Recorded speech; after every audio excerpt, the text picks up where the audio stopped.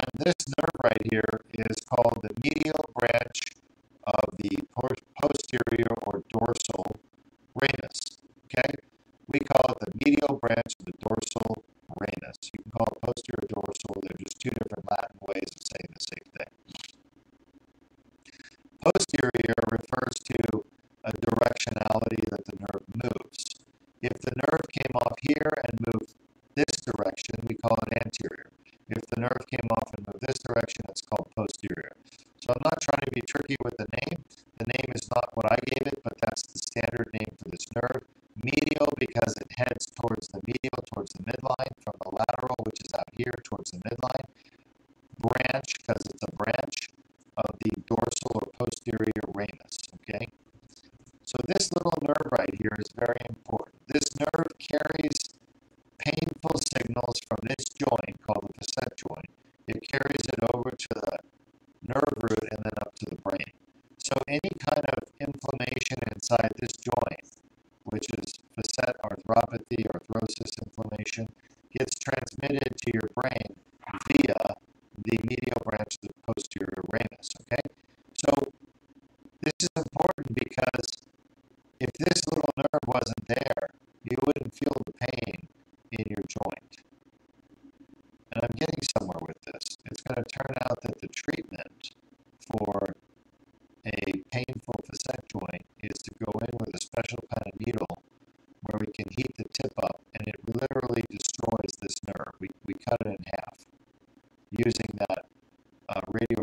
To arise out of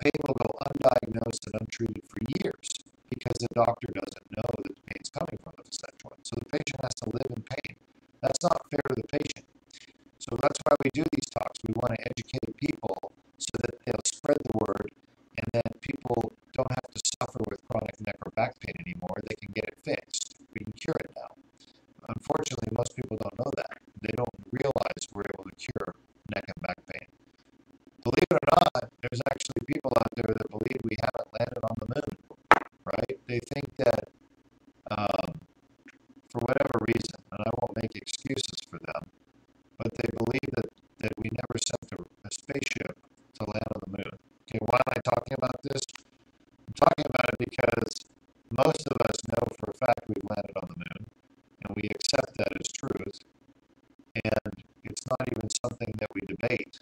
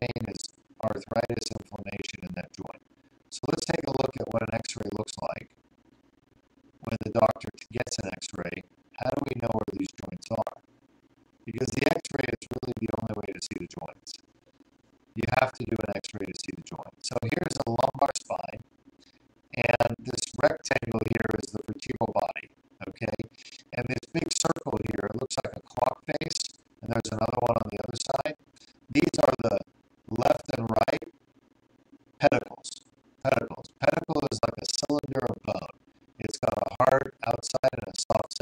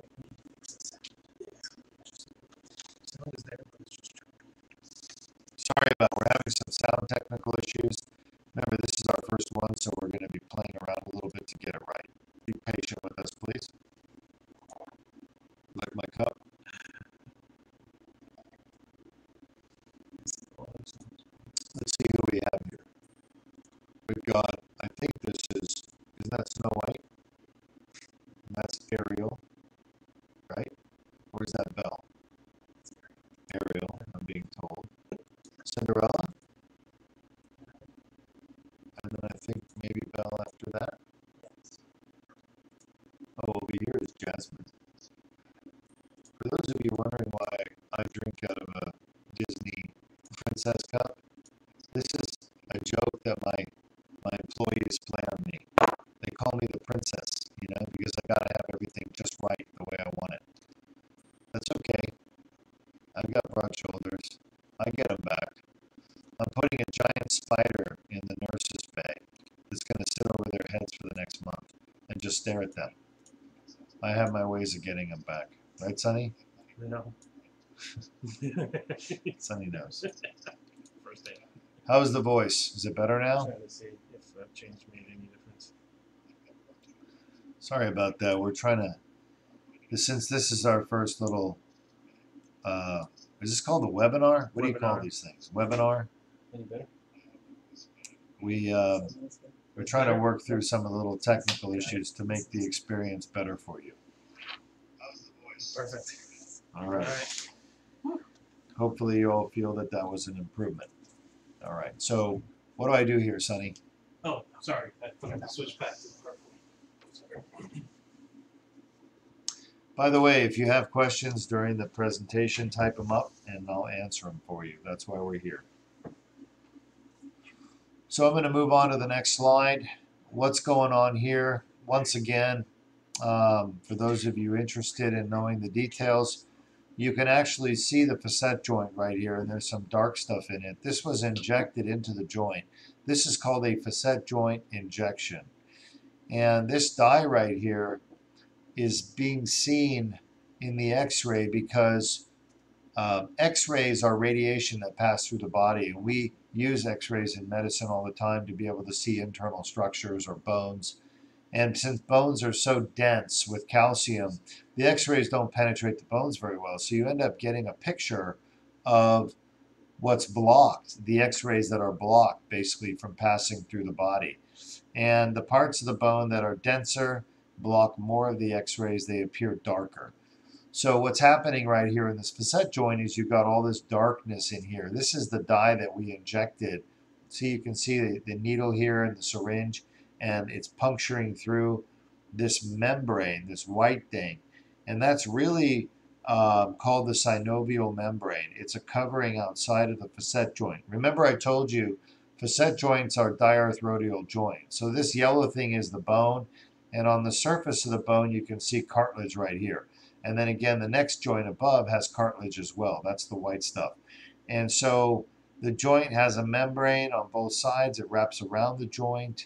And when you inject the dye into the joint, the, the dye is held into the joint by the membrane. So the more damage a joint has, the more tears in the membrane, the more dye will leak out. If you look over here, you can actually see the nerve root, and the dye is leaking and tracking along the nerve root. Now, if this is the L4 pedicle, then this would be the L4 nerve root passing underneath it and down the leg. And you can see the dye on both sides of the nerve root, there and there. So the dye leaked out of the facet joint, leaked onto the nerve root.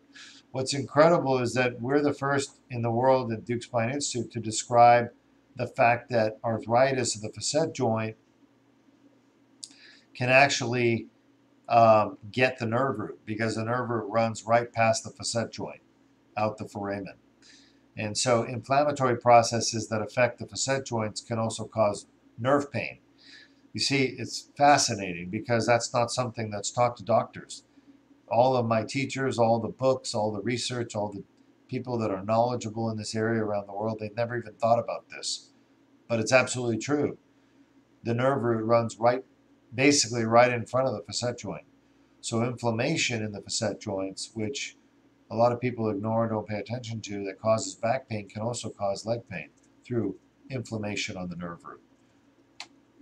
And we've shown you that during some of my open surgeries over the years. All right, here's uh, on the right side is another x-ray. This is an oblique view, meaning that we don't take a picture through the spine front back or side to side. We actually come at an angle. And what you can see here quite nicely, and I'll, I'll, I'll show you once the cursor comes back because it disappears from time to time, is you see this right here, this little pointy thing? That is the superior facet. This is the facet joint this is the inferior facet right here of the vertebral body above. Now we have a special name for this. It's called the Scotty dog. All right, why is it called that? It's called the Scotty dog because it, the early radiologists thought that um, this was the eye of the dog and this was the, the nose or schnauz of the dog. This was the dog's ear. This was the neck of the dog and the inferior facet is like the front paws of the dog, and the body of the uh, the dog would be the lamina, and then the uh, the rear legs would be the uh, other side's inferior facets.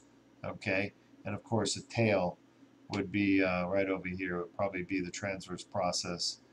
Uh, but the point is, uh, a fracture, Scotty dog fracture, basically would be a fracture through the pars right through here, okay? And so you could see a fracture in this area.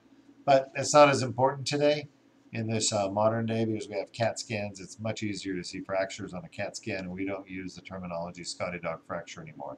That's kind of an older terminology. Point is, if you look right here, you can see a needle and dye going into the facet joint. So you can see the facet joint nicely here, but you can also see it here and this is all dye that was injected into the joint. We do this because we want to sometimes inject these joints with numbing medicine to see whether or not they're causing pain. The same thing can be done in the cervical spine or neck. You can inject the joints. You can see how the dye is leaking out of the joints and getting around the nerves of the spinal cord. This is another lumbar. And again, we're just numbing up the joints. Now this is a rhizotomy. This is a procedure that's done to treat back pain or neck pain. Now you can do this in the neck, the back, or the thoracic spine, but your doctor has to know how to do it properly. It can be risky if it's not done correctly. Most pain management doctors, interventional pain management doctors, are taught to do it in the lower back. Very few are taught to do it in the neck or thoracic spine. At Deuk Spine Institute, we're able to do rhizotomies in the neck, thoracic spine, or lumbar spine, lower back, because Dr. Patel was very, very well trained. As a matter of fact, Dr. Patel is actually one of the national testers for the American Board of Interventional Pain Physicians. So he actually is the one who observes doctors that have finished their training and want to go out and practice in the real world. They want board certification. They want at the highest level of certification. He's one of the testers. That's because he knows exactly what he's doing. He's very good at it. But uh, what I'm getting at is not all doctors know how to do these procedures. Very few actually do. So you want to make sure you go somewhere where they know what they're doing and they do a good job. Otherwise, you're not going to get better and you can actually get worse from the procedure. So here's a little cartoon down here showing you what's happening. There's a little cable, right, a little white wire. It carries electricity. It connects to the probe. The probe is metal. The tip of the probe is sitting right on that, that sensory branch that we talked about earlier that carries the pain signals from the inflamed facet joint to the brain saying, ouch, this hurts. And you can see the tip of the probe is sitting right on that nerve and the uh, operator, the doctor, is going to heat up or turn on the electricity. The current will go down to the tip. It'll heat up the tip to about 80 degrees Celsius. And then the probe will burn that little nerve right there. That's what we want to do. That's how we cure the pain from facet joints is by deadening the joint so you don't feel the pain. Okay? Now, we got a question for you all. We're going to call it a poll question. We're going to poll the audience, people watching. What is the most common cause of chronic neck or back pain? Um, so, in all fairness, I told you that facet joint pain and disc herniated disc are about the same frequency. Uh, but facet joints are probably a little bit more common. So I gave you guys the first answer. Um, the facet joint injury is the most common cause of pain. Okay? We're going to talk about almost an equally common cause of back and neck pain, which is a problem with the spinal disc called the intervertebral disc. The problem we're talking about is when you get an injury to the disc, it can be very painful. Let's take a look at the normal anatomy of a disc. So coming over here, I told, told you earlier, this big part of the vertebrae is called the vertebral body. And attached to the back of the vertebral body is the pedicle. And then behind the pedicle you have the superior facet, you have the spinous process, and you have the transverse process, and you have the inferior facet. Now, the vertebral body below or vertebrae below has the same exact structure, slightly different, but pretty much the same exact structure. Between the two vertebral bodies is something called the intervertebral disc, and it's a giant cushion. And the reason you have a cushion between these two bones is so that the bones can actually move without grinding on each other, and that you can carry things and load the spine with heavy weight by carrying a 100 pound dumbbell well, that 100 pounds is transmitted right through that cushion. Now imagine if you had bone on bone and no cushion. It would be 100 pounds of force grinding bone on bone. Your spine wouldn't last a day, honestly. So these discs are very important shock absorbers or cushions between the bones in your spine. Injuring the disc can cause severe pain and dysfunction of the spine. And that's what Deuk Spine specializes in, fixing injured discs. So let's take a look here. One more thing to note is this space. I'm going to outline it for you with my pointer. So we're, we're looking at the normal spinal segment on the left. And my pointer is going to outline a space right here. You can see this yellow thing inside the space. That's the spinal cord. And this space right here is where the nerve comes out. And it's called the neuroforamen. It's very important, the neuroforamen, neuroforamen. It's a space where the nerve comes out. Now I want you to look at this carefully because this is a very important picture. This is normal spine. You have a disc, okay? The spinal disc, which is really the back of the disc, makes up the front of the neuroforamen in the bottom half of the foramen. So if we drew a line across the foramen here, and this is the front. This is the back of the body, back of the body, front of the body. The back of the disc would make up the front bottom, bottom half of the foramen, but the front of the bottom half of the foramen is the disc. Very, very important. The top half of the foramen in the front is the back of the vertebral body. See right there? Very important. Almost nothing happens here. Almost everything happens here. Okay? Now, the only thing that would cause a problem here in the anterior or front top half of the foramen is a vertebral body fracture. And that happens in people with osteoporosis or tumors. It weakens the spine, this fractures, and it retropulses bone fragments backwards. Now, very important, look at the top of the foramen. From here to here, what is this? This bone is called the pedicle. The pedicle. So a lot of spine surgeons don't even know this stuff, believe it or not. I mean, I could ask a surgeon and they wouldn't know. Like literally, if I had to guess, I'd say seven out of 10 don't know this. It's sad, but it's important for them to know, but they don't really think about it because it's not really taught to them. The top of the foramen is the pedicle. The bottom of the foramen is the pedicle. And now let's look at the back of the foramen. What's back here? You have your inferior facet, your superior facet, but importantly, you have this. This is the facet joint. That's the joint or space, like a knee joint, between two bones. The bones are the top vertebrae, the bottom vertebrae. That's the facet joint. Now, this facet joint in every single human being alive, over time, gets bigger. It hypertrophies. It gets bigger. And you get problems with that joint. What are the kind of problems? Well, the capsule, remember we looked at the capsule? So let's go back, okay, and look at the capsule. Okay, so right here, you see this capsule, this white thing? And we saw it also right here. See the capsule? This capsule, we call it a synovial capsule. That capsule gets bigger as the years go on and your inflammation gets bad in those joints. The capsule enlarges. And as it enlarges, the capsule actually starts to push on this, the nerves and the spinal cord, and it causes what's called spinal stenosis or narrowing. So spinal stenosis or narrowing of the neuroforamen can happen from a disc bulging backward. It can happen from bone spurs growing off the back of the, of the disc. It can happen from fractures of the vertebral body. It can happen from enlargement of the facet joints.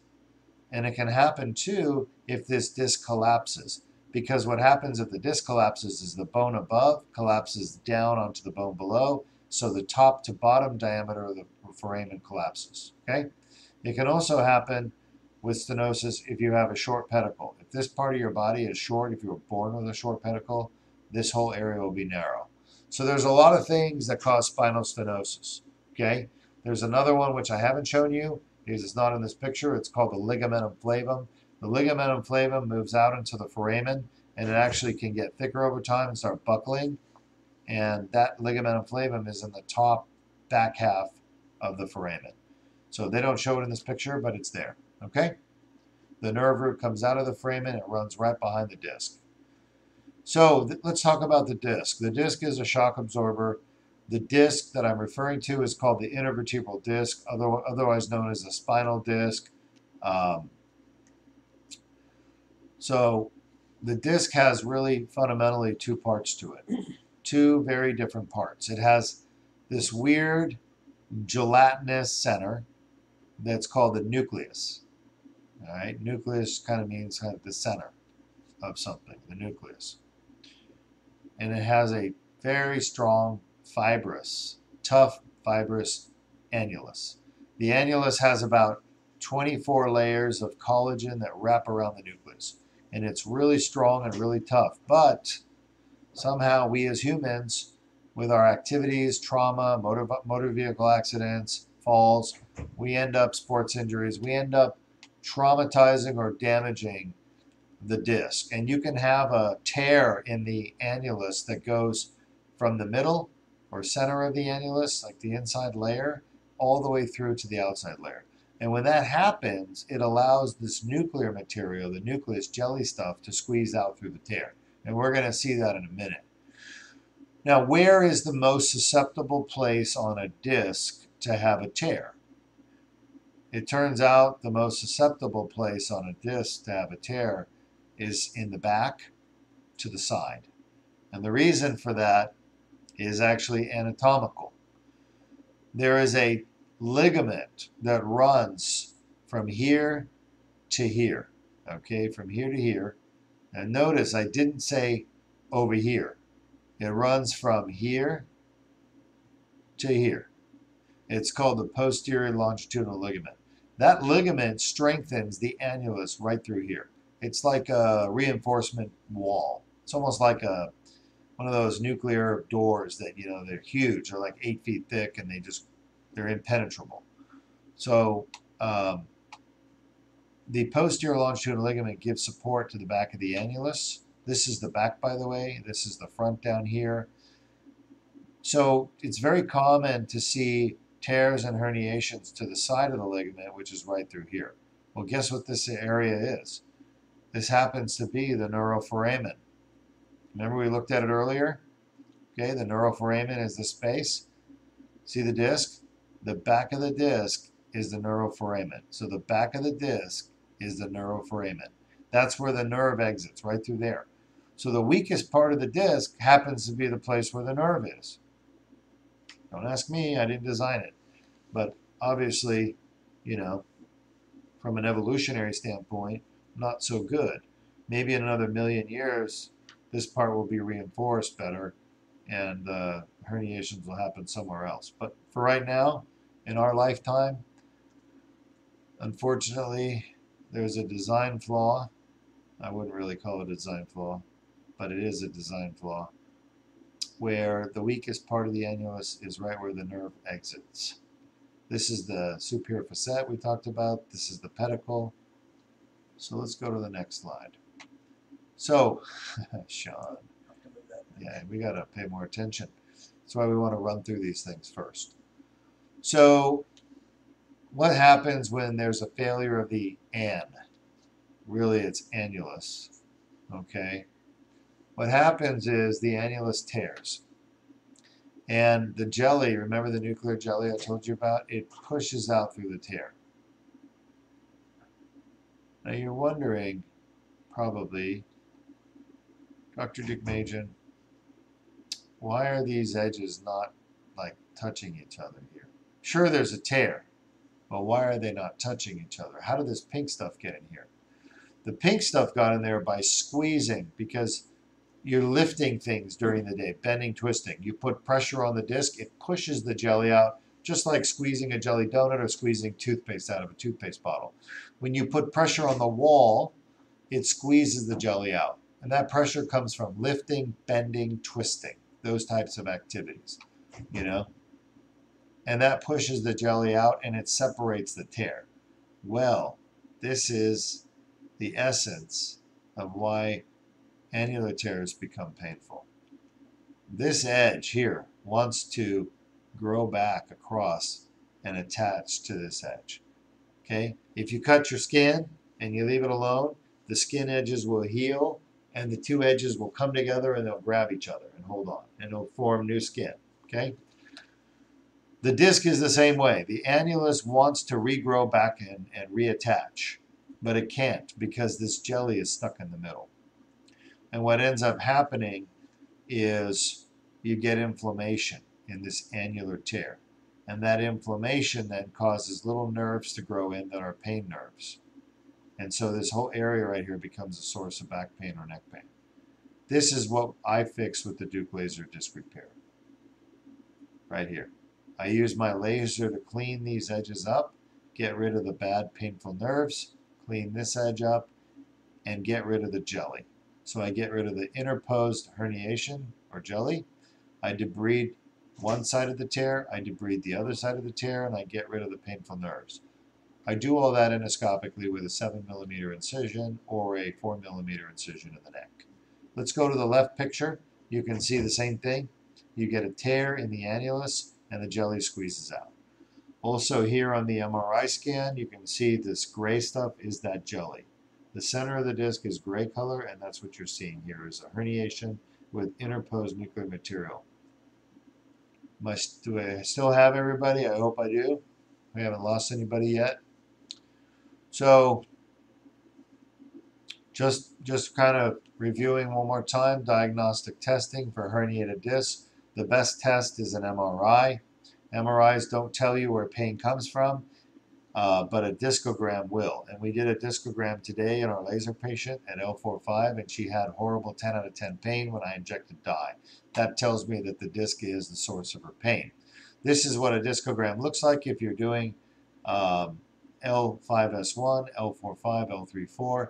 Notice that L34 is a cotton ball. There's no tear back here. L45, there's a big juicy tear in the back of the annulus and the dye is leaking out through the tear and the herniation. Same thing in L5S1.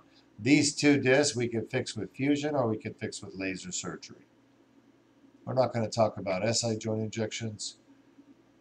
All right, let's ask a poll question. This one you all should be experts at. What is the name of the nerve carrying pain directly from the inflamed facet joint to the brain? Is it the medial branch of the dorsal ramus? Is it the L5 nerve root, the dorsal root ganglia, or the sympathetic trunk? Do, do, do, do, I tell them or not? Do we wait? Just a second. All right, I'll give you guys some time. In the meantime, I'm going to move on to the next cause of common cause of lower back pain. Really doesn't cause back pain per se, but it causes buttock pain. At the top of the buttock, there's a muscle that runs from the tailbone all the way over to the hip bone. It's called the piriformis muscle. And if you get a tear in that muscle, which is pretty easy to do, that tear will cause buttock pain, but it can also irritate the sciatic nerve and cause pain to shoot down your leg. So what do we do? We do a diagnostic block. We inject that torn muscle with some medicine and see does it take the patient's pain away. Usually it does, as long as you made the right diagnosis and then you want to do some physiotherapy to let that muscle heal and get fixed. That's what the muscle looks like with the needle in it injecting the dye. We call this a myogram, and most of you will recognize the hip joint in the background, the pelvis, the sacrum, the sacroiliac joint, just for reference. We have an answer. All right, we have an answer. What's our answer?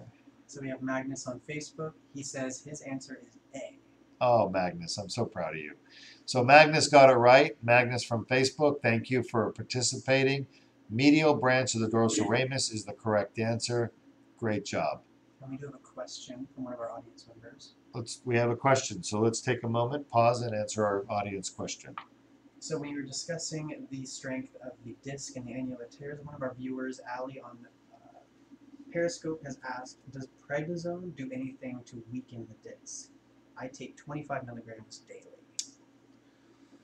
So Ali is asking us, does the use of steroids such as prednisone weaken the disc? And it's a great question. I'm having to stop and think about it for a moment because honestly I haven't really thought about that. If I had to conjure up an answer right now, I would say no, it doesn't. Prednisone and steroids would not weaken the disc. Um, that being said, and I base that on my experience, but I also base it on everything I've read and studied. I've never seen anyone show that prednisone would weaken the disc. It doesn't mean that there hasn't been a scientist that's proven that. I'm just not aware of it. There are probably a million publications out there related to the spine. So to be honest with you, I'm not aware that prednisone weakens the disc. But um, that being said, I can't say 100%. So if I were to give my opinion, I would say 99.5% I'm certain prednisone does not weaken the disc. Okay? Great question, though.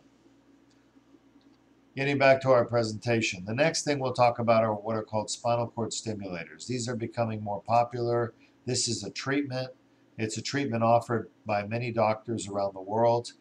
Um, they also called neuromodulators. Basically, what we're doing is we're putting, if you think about what a pacemaker is, a pacemaker is a wire with electrodes connected to a battery that goes into your heart. It zaps the heart and causes the heart to contract according to the pacemaker, right? So if you set your pacemaker for 60 beats a minute, the heart will send electrical impulses 60 times a minute, and your heart will beat 60 times a minute they've taken pacemakers basically and adapted them to put in the spine over the spinal cord. And what they do is they actually send electrical signals through the spinal cord. And the idea there is that it'll disrupt the signals of pain that normally travel up the spinal cord from your lower back and your legs, the pain down there, travel up the spinal cord to your brain. So the idea is that these these wires and battery will actually stop the transmission of pain signals. Do they work? Sometimes, uh, but many times they don't. Okay, this is a good one. Sean has been uh, a busy little beaver coming up with tough questions. I like it. I had to think about it for a minute myself. So the poll question again is what part of the herniated disc causes back or neck pain? Is it the ventral annulus? The ventral annulus is the part of the annulus that's in the front of the disc, the front part. Is it the nucleus pulposus? Does the nucleus cause pain? Is it that? Is it the annular tear? Or is it the nerve root? So we'll give the audience a minute or two to choose which answer is correct. What part of a herniated disc is the cause of the back or neck pain? Is Yeah. it We have a guess from Magnus. He says C. Magnus? Magnus again. I like it. I like the name. Great name. All right, Magnus is saying answer C. Thank you, Magnus, for participating. And I will say you are correct. It is the annular tear. All right, we're almost done with the presentation and we'll take more questions uh, at the end. What is spinal fusion? So, spinal fusions, 1 million spinal fusions done every year in the United States. Uh, about 300 to 400,000 are done on the neck. The rest are done on the back and the thoracic spine. There's starting to be more spinal fusions done with the sacroiliac joints. I'm not a big advocate at all for sacroiliac joint fusion. I don't think it's necessary. I think it's being done unnecessarily. Why do I say that? Well, number one, I do believe the sacroiliac joint is a cause of pain, for sure. It's 100% causes back pain when it gets inflamed. But the treatment we recommend is not fusion. We recommend injection with steroids and therapy. And it's not just any therapy, it's therapy specifically directed at the sacroiliac joint. We're talking about special kinds of stretches that are done daily to break up the scar tissue in the joint. That reduces the inflammation over time, along with the steroids, and it allows people to, to walk normally without sacroiliac joint pain. So there's another option to do after the steroid shots and the therapy if it keeps coming back, and that is a rhizotomy. Go in there with a needle and deaden the pain nerves. But the most dangerous of all treatments would be a fusion of the sacroiliac joint. Why is it becoming more popular? Because unfortunately, the fusion is done with metal pieces that are manufactured by big companies that want to make profits. And so they're pushing that onto surgeons to do it, and the surgeons are doing it. The surgeons get paid a handsome fee to do sacroiliac joint fusions. So, for those of you out there, if you're recommended for an SI joint fusion, please take advantage of Deuk Spine Institute's free MRI review service, free Skype consultation. Talk to me. I'll be happy to meet with you, review your films, and I'll tell you whether or not I think you need a fusion of your sacroiliac joint. As a matter of fact, any fusion at all, talk to me. I'm happy to give you my opinion as to whether or not you need it done. So, what are fusions? Fusions are really the act of getting one bone to grow together with a second bone. And these bones are generally located next to each other, one bone next to the other. And what's separating those bones normally is a joint. So, if you think about it, these are bones that are supposed to be moving, and that joint's supposed to be moving. But what you're doing with a fusion is you're basically physiologically, anatomically, you're eliminating the joint. You're getting rid of it.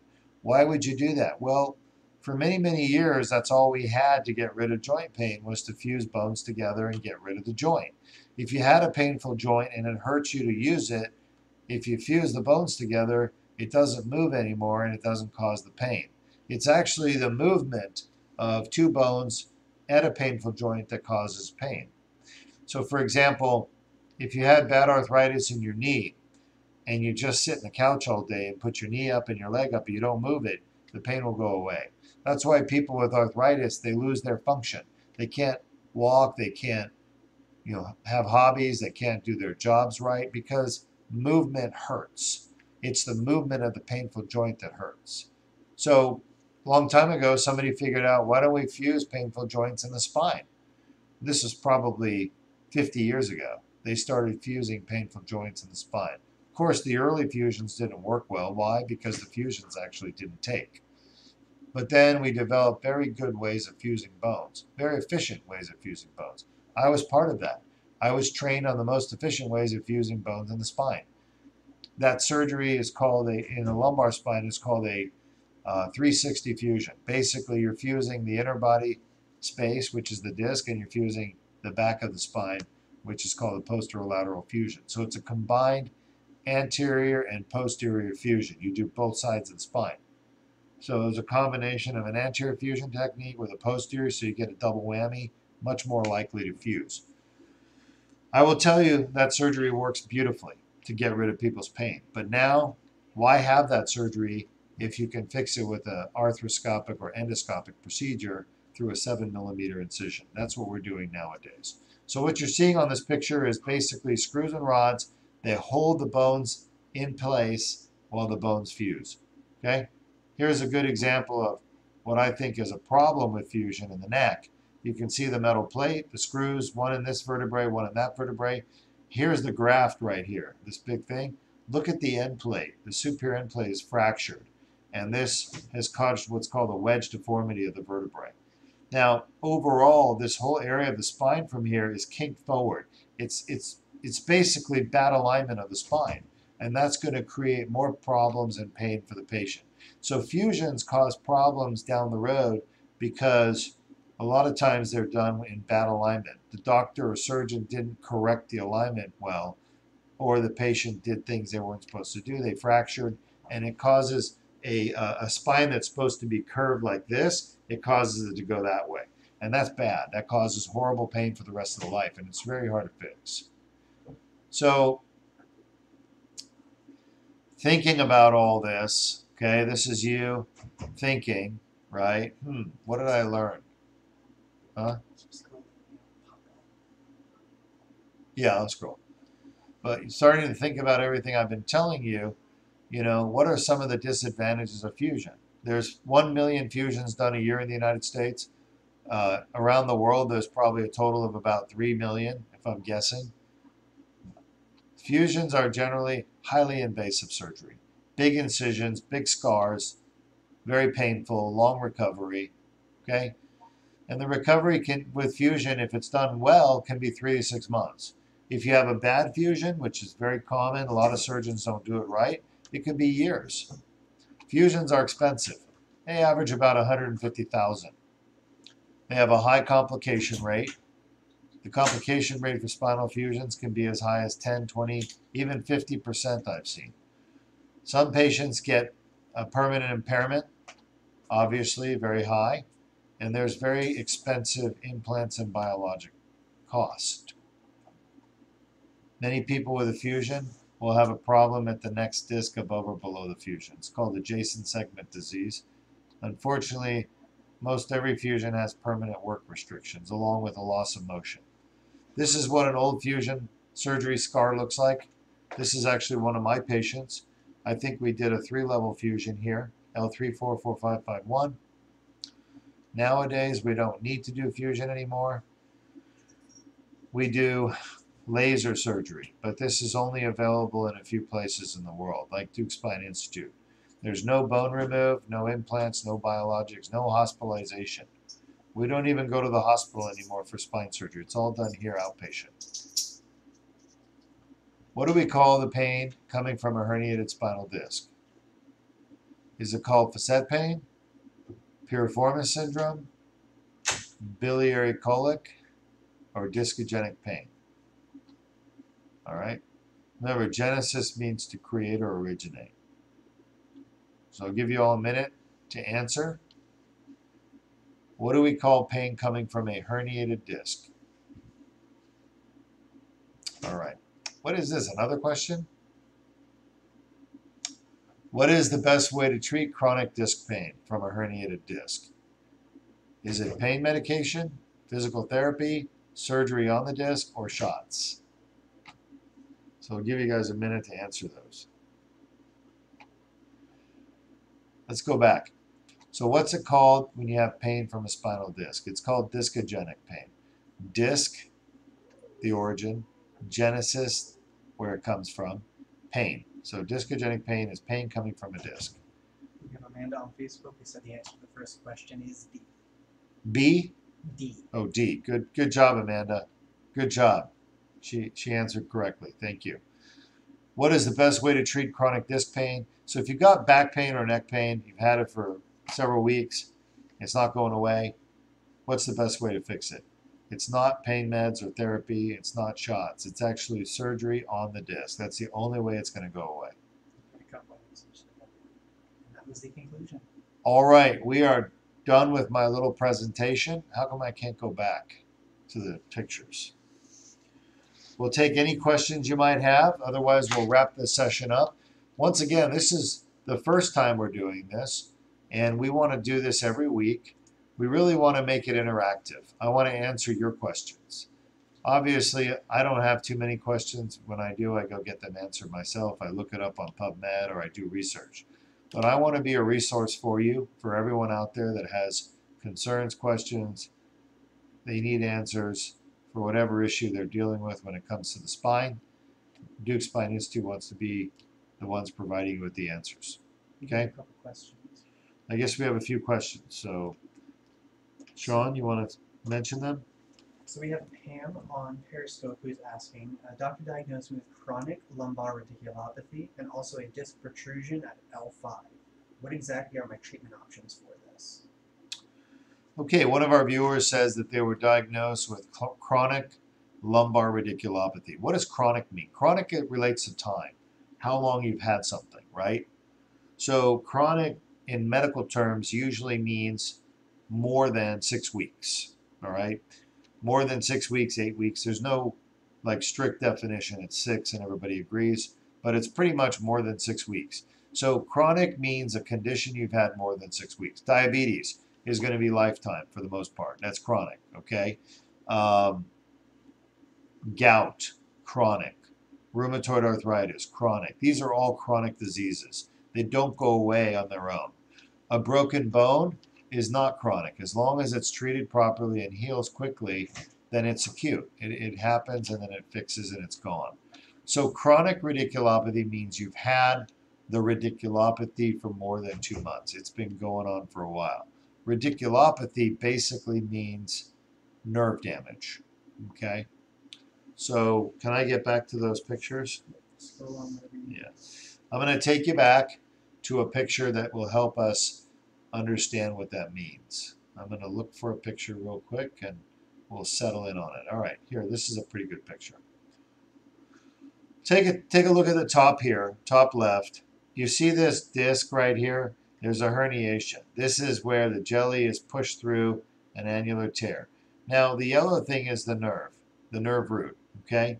And you can see here it says pinched nerve root, compressed or pinched nerve root. If we leave the nerve root pinched for a while, it's going to start causing damage to the nerve root. The reason is that the nerve root is very, uh, it's like wet pasta. It's, it's so easy. When you pinch it, it just pinches in half. That nerve root is very delicate. Nerves are delicate. The brain is delicate. All neurological structures are delicate. That's why it takes a special kind of surgeon to operate on them. You have to be trained to be delicate, basically.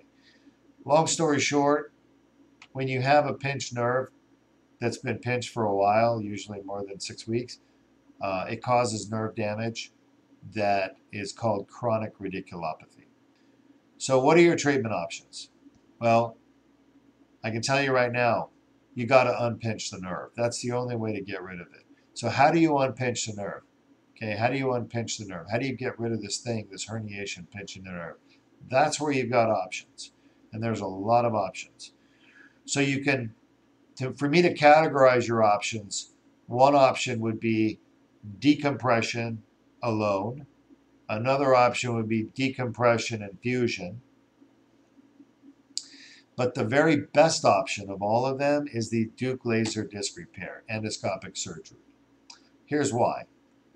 A decompression, called a microdiscectomy or laminectomy, which is very common, most people's doctors will offer them that, is where the surgeon will come in. If you can see my arrow at the bottom picture, they'll come in here.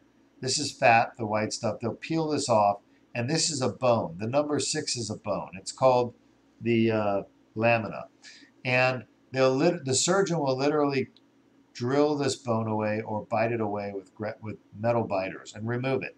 You're going to have a hole in your spine right here. And then they'll come down here and they'll try to get this piece of herniation, number two, herniated disc. They'll try to get it out. That's actually a nerve root. That's a nerve root. Number three is a nerve root. The nerve root on the right side here is this one. And you see how the herniation is pushing on the nerve root on the right side. This is actually the right side. So the traditional surgery that I was taught to do years ago that everyone else does in 2020, which I don't recommend, requires this whole bone here to be taken out. Well, once you take this bone out, this is the facet joint right here. That surgeon has to take part of your facet joint out. You don't want to lose part of your facet joint. There's nothing wrong with your facet joint. But they have to get rid of it in order to get this herniation out because they can't go through bone, so they have to take the bone out. That's the whole reason why we do what we do transforaminal with the laser surgery, is to avoid taking bone out of your spine. So one option for you to do is a traditional microdiscectomy. I don't recommend it. You can also take the bone out and then fuse the bones together after you take the herniation out. That's a fusion. You don't want a fusion. You're losing movement. You're going to have complications. There's all kinds of problems. The best treatment in the world is to do the laser surgery that I showed you, the Deuk laser disc repair. It's the only surgery in the world that can get rid of the herniation, get rid of the tear, and let the disc heal properly without creating collateral damage. We have another question here from our audience. Stu on Periscope asks, do you have any specific thoughts on personalized 3D printed spine implants? So Stu is asking me, Dr. Deukmedjian, do you have any thoughts on this new technology that is 3D printed spinal implants? Um, Stu, you're not going to like my answer, but I'm being honest with you. I'm aware of 3D printed spinal implants. That technology is new. You're right. It's probably, I'd say, 8 to 10 years old now. And the God's honest truth is that it's kind of a marketing gimmick. It doesn't really add any value to the patient. There's really nothing, you know, there's no need for it, basically. I'm sorry, but that's the God's honest truth. The 3D sp uh, printed spinal implants include things like um, screws, rods, cages. Um, those are the main implants right now that are being done. And there's really no advantage, in my opinion, to a personalized implant. We have trays of implants of different sizes. And those trays um, have, for example, cages that come in different sizes and shapes. So it's already customizable. And the difference between what's already available with respect to the different lengths and widths and heights, uh, which are already readily available, the, the difference is, in my opinion, insignificant. And the problem with 3D printed stuff is now you're, you know, you've got potential manufacturing defects that can occur, whereas with the standard stuff, it's all standardized basically in a factory that's you know producing these implants in large numbers. Now you want to create individual implants. Well, that has to happen on an individual scale. So every single place you go will have to have a 3D printer. The, the materials used have to be vetted. They have to be proper. So basically you're taking mass production and you're making it individual production. And, you know, for most things, mass production like this, most things like this, I think mass production is better because you have better quality control measures in place. Now you're basically going to be opening up individualized, personalized 3D printing. You're going to be opening up Pandora's box to the potential that there's going to be a lot of quality control issues that go undiagnosed. And then you got something in your body that falls apart. I personally would not want it. I would just want a standard construct. But then again, getting back to it, You don't want any of that. There's no need for 3D printed devices. The Deuk laser disc repair surgery is all natural. There's nothing put in your body. You don't need anything printed at all. We have another question from Sue on Facebook. She's wondering, can anyone go skiing after either a fusion surgery or a DLDL? So Sue, what's Sue's last name? Griffin. Sue Griffin. Hi, Sue. Nice to see you again. Nice to hear from you. Can anyone go skiing after back surgery or neck surgery when they have the Deuk laser disc repair or they have a spinal fusion? The answer is yes, absolutely yes. Um, if you have a Deuk laser disc repair, you're going to want to let that disc heal for at least six months to a year before you do skiing.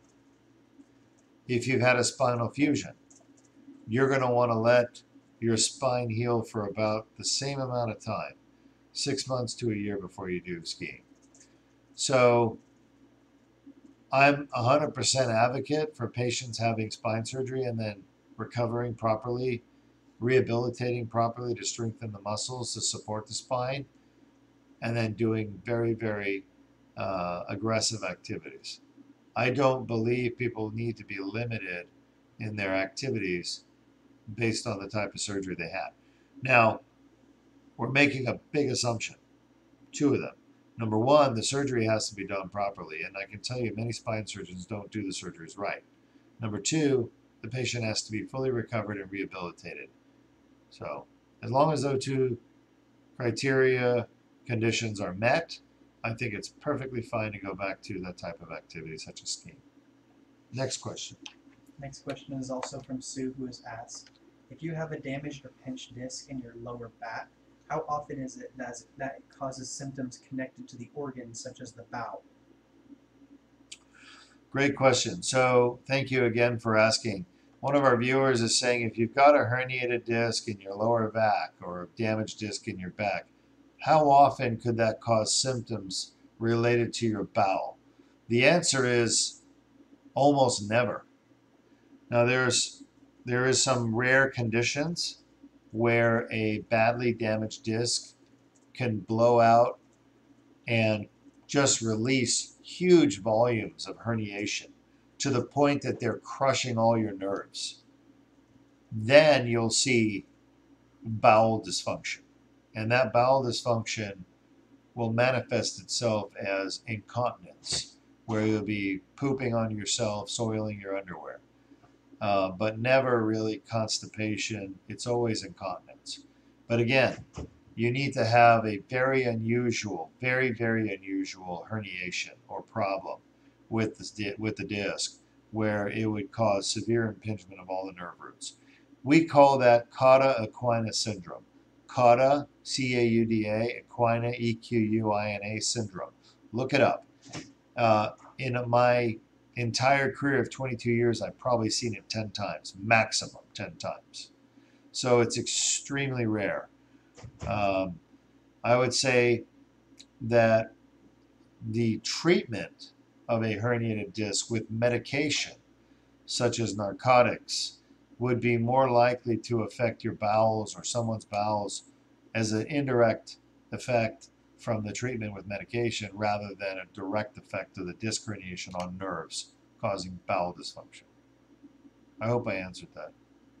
And our last question before we wrap it up here is from Teddy on Facebook, who asks, "What is the likelihood of a ruptured disc healing itself with nothing but rest?" So Teddy on Facebook has asked Dr. Deuk, what's the likelihood of a ruptured disc healing itself without doing anything but just taking it easy and resting? Teddy, I would say the chances are really good, probably about 95%. 95% of people with a ruptured disc can heal their disc on their own. But here's the caveat two things. Number one, if that person has any symptoms that would be related to spinal cord or nerve damage, they should not wait. They should go get surgery. Okay? Do not wait. It won't heal on its own. So those symptoms would include balance difficulty, incontinence of urine or feces, um, numbness or tingling going into the arms and hands, uh, weakness in the arms or legs, drop foot where they can't pick their foot up or leg up because they've got weakness, severe numbness or tingling in the arms or feet. Those are all symptoms that are more than just a herniated disc. They're signs of damage to neurological structures like the spinal cord and nerve roots. Do not wait in that case. But let's assume your only symptom is pain neck pain, back pain, thoracic pain. Is it safe to wait? Yes. And what's the likelihood the pain will go away? About 95%. The second caveat, which I haven't talked about yet, is time. How much time do you give it to heal? A lot of people wait too long. What I would say to you is if you have a herniated disc causing pain and you want to know is it going to heal on its own, if it's past six weeks, it's not going to heal on its own. If you have pain from a herniated disc past six weeks, you're going to need to get some other treatment done, like surgery on the disc. Those are all the other. That was our last question. I'm Dr. Ara Deukmedjian, CEO and founder of Deuk Spine Institute here in Melbourne, Florida. Hope you've enjoyed our webinar today. And we're going to be back next week with more surgeries that are live and testimonials from patients who have had back or neck pain for years and have gotten, gotten that pain fixed here at Deuk Spine with our advanced cutting edge technologies. We'll also have a webinar next week on Thursday, is what we're planning to do. And bring your questions and bring your topics. Feel free to post if you have a topic you want me to talk about. Until then, download the Deuk Spine Institute app for free. Join the Spine Surgery Support Group on Facebook, and we can answer more questions for you. Be safe and um, enjoy your weekend. Nice job.